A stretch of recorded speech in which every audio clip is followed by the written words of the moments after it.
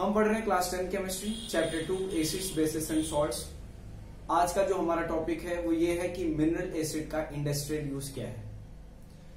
तो mineral acid का industrial use बहुत ज़्यादा है इमेंस रोल है। हमारी कंट्री का डेवलपमेंट या फिर बोल सकते हैं कि ऑल ओवर द ग्लोब पूरे विश्व में मिनरल एसिड का यूज़ बहुत बड़ा है। काफ़ी सारे डेवलपमेंटल वर्क्स वो चाहे जिस क्राइटेरिया के हों, इन्हीं से होते हैं। मिनरल एसिड के द्वारा होते हैं। And that is why H2SO4 is one of the acid which is called as king of all the acid, king of all the chemicals. सभी केमिकल्स का राजा कौन कह, कहा गया है H2SO4 को। भाई किसी को राजा हम क्यों बोलते हैं? आप समझ सकते हैं। यहाँ से जो मैं क्वेश्चन पूछा हूँ उस क्वेश्चन का आप खुद से आंसर दीजिए उसके बाद H2SO4 पर गौर करिए। आपको पता चलेगा कि भाई H2SO4 के अंदर कुछ तो कैरेक्टरिस्टिक्स होगी जिन जिसकी वजह से इसको राजा बोला जा रहा है। जी हाँ। तो H2SO4 का जो यूज़ है वो बहुत बड़ा है। बहुत सारा इंडस्ट्रियल यूज़ होता है। अगर हम बात करें फ़िलहाल के लिए तो जो मेन मिनरल एसिड पर हम चर्चा करेंगे वो ये है कि S two S four H N O three H C L इन सब का यूज़ कहाँ कहाँ होता है। तो हमने इस स्लाइड में सभी का यूज़ लिख दिया है आइधर H2SO4 और एच एन ओ थ्री और HCl और आप एक बात ध्यान से देखेंगे कि इनका रोल इनका जो यूज़ है, वो साफ़ साफ़ हमारी डेली लाइफ में भी दिखता है।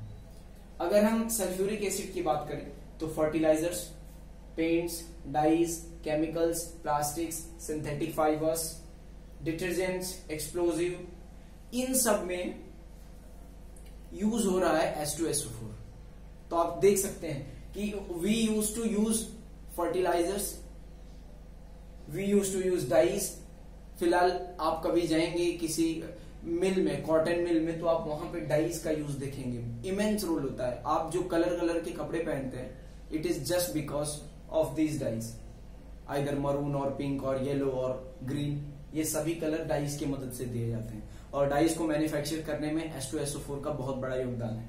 केमिकल्स कई सारे केमिकल्स हैं। Even medicine also next plastics use to now days we are using plastic in each and every appliances फ़िलहाल के लिए मेरे हिसाब से तो अप्रोक्स 70 टू 80 परसेंट चीज़ें हम लोग प्लास्टिक यूज़ कर रहे हैं। जैसे अगर हम बात करें इधर और सिंपल अगर स्टार्ट करें तो किचन मटेरियल से चाहे सोफा बेड चाहे हम एसी कूलर की बात करें, चाहे स्विचेस की बात करें, चाहे वायर्स की बात करें, सभी जगह प्लास्टिक्स का इमेंस रोल है। बहुत ज़्यादा either hospital equipments like oxygen mask सभी जगह प्लास्टिक का बहुत यूज़ हो रहा है। और ये प्लास्टिक को बनाने में कौन मदद कर रहा है?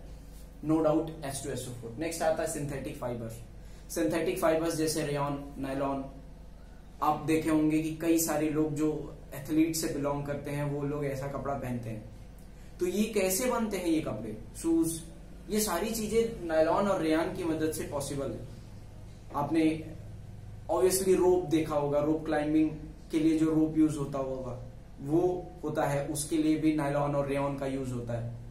Approx each and every material we are using this chemicals chemical derivatives which belong from S two four next आता है हमारा nitric acid H N O three H N O three का यूज़ कहाँ करते हैं? देखिए।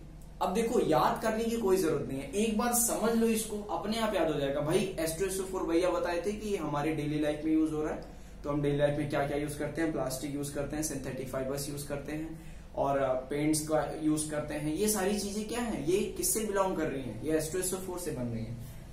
नेक्स्ट आता है हमारा, जो नाइट्रिक एसिड में हमने देखा कि फर्टिलाइज़र देखो, यहाँ भी फर्टिलाइज़र को बनाने में कौन मदद कर रहा है हमारा? Nitric acid next explosive like TNT trinitrotoluene plastics dyes देखो यहाँ भी देख रहे हो ना approx the use of nitric acid and sulphuric acid are common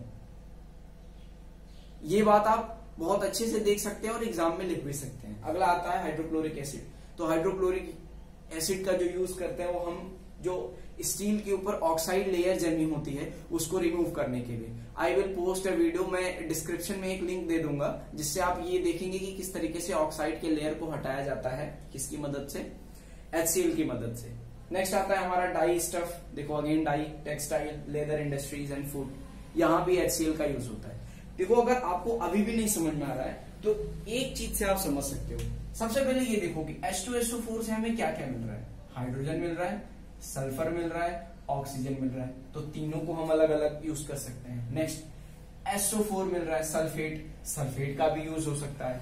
hydrogen अलग मिल रहा है हाइड्रोजन का भी यूज़ हो सकता है। अब बात आती है HNO3 नाइट्रेट मिल रहा है, फिर अगेन नाइट्रोजन ऑक्सीजन हाइड्रोजन समझ रहे हो ना? तो किस तरीके से हम अलग अलग इसको तोड़ करके हम यूज़ कर सकते हैं? चाहे अगर हम रेडिकल नाइट्रेट की बात करें तो उसको यूज़ कर रहे हैं। अगर हम सिंपल एक एलिमेंट की बात करें तो नाइट्रोजन ऑक्सीजन और हाइड्रोजन हो गया हमारा। तो अलग अलग चीज़ों से अलग अलग प्रकार की मटेरियल्स बनती हैं। इसी वजह से इनका अलग अलग यूज़ है।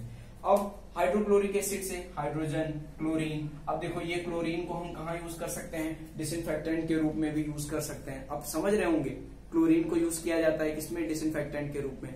आइदर ड्रिंकिंग वाटर की बात करें, चाहे हम डिसइनफेक्टेशन की बात करें आजकल तो बहुत ज़्यादा आप यूज़ देख सकते हैं क्लोरीन का, जो ये समय चल रहा है कोविड नाइन्टीन का। उस समय में डिसइनफेक्टेशन बहुत ज़रूरी है और उसके लिए क्लोरीन बहुत बड़ा रोल अपना रहा है।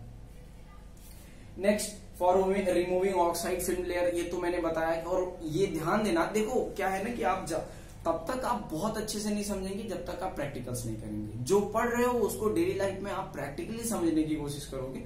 तब बहुत अच्छे से समझोगे। और इसके लिए आपको एक चीज़ करना चाहिए मेरे हिसाब से। आप बिल्कुल देखिएगा वो वीडियो। ज़्यादा मैं कभी नहीं आपका टाइम लेना चाहूँगा। दो से तीन मिनट का मैं एक्सपेरिमेंट वीडियो अक्सर अपने सारे वीडियोस में डाला करता हूँ। लिंक दे दिया करता हूँ। तो आप देख सकते हैं उसको। होप्स हो कि कॉपीराइट ना आए। ऐसा कुछ होता है तो मैं, मैं आगे देखूँगा लेकिन तब तक के लिए जब तक अवेलेबल है तब तक आप देख सकते हैं। Thank you